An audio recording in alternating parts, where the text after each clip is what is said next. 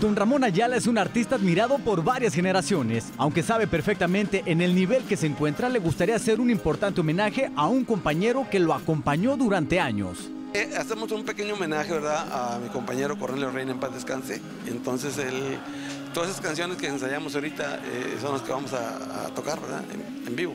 Pero este personaje no es el único. Tienen en la lista honrar el trabajo de otro grande de la música.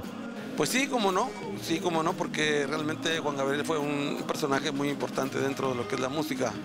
Y este, como compositor, como cantante, pues fue fenomenal, ¿no? Entonces, fíjate que eh, eh, como unas dos, tres semanas antes, ellos nos mandaron un disco a nosotros para que nosotros lo grabáramos y le echáramos voz en nosotros y, mandárselos a ellos allá este, a Cancún, donde ellos tienen eh, su, equipo de grabación y todo.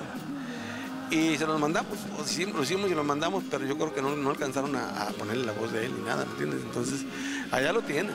Ya que hablamos de grabaciones, nos adelanta detalles de su disco. Bueno, mira, tenemos un disco nuevo ahorita, ¿verdad? Eh, que eh, este disco se llama este, como El Topo. Es la canción que viene encabezando este disco nuevo pero viene también este, eh, muchas canciones inéditas nuevas y vienen también unas canciones, una canción de los 60, ¿verdad?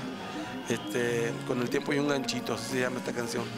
De lo cual de, esto ya hicimos videos, hicimos videos del topo, hicimos videos también de con el tiempo y un ganchito y también una que se llama Mi Lupita, que esa viene siendo eh, una canción para la Virgen de Guadalupe. Un rey que sigue portando dignamente su trono dentro del mundo de la música es don Ramón Ayala. Desde Monterrey, Nuevo León, informó para toda Música Express de Videorola, René Nuño.